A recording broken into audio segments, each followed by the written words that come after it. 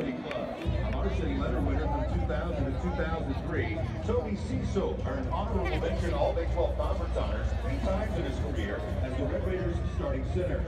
Standout